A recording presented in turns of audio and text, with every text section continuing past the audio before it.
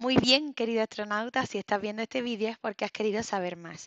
Y si lo que vas a querer es entregar una insignia a tu alumnado cada vez que vaya pasando esos retos que habéis planteado en ese fantástico mapa de la narrativa, de esta gamificación que poco a poco habéis construido, es tan sencillo que desde la herramienta de Canva, una vez que la tengáis abierta, ponéis la palabra insignia y se os van a abrir diferentes eh, modelos, por así decirlo, que ahora podemos modificar y llevar a su terreno. ¿Qué tendríamos que hacer? Generar esta insignia y luego, bueno, como ya os decía en el anterior em, vídeo, podéis utilizar los flashcards como insignia o crear la vuestra propia, porque estaría súper divertido. Y luego solo tendríamos que imprimirlo en papel de pegatina, recortarlo y poder entregarlo. Por ejemplo, imaginar esta que a mí me parece súper bonita porque a lo mejor llevamos em, una gamificación que tiene tiene que ver con las plantas. Bueno, pues la bola de Navidad la vamos a quitar y en vez de poner en rebaja, pues imaginar que es de planta o que es de huertishi y vamos a poner que están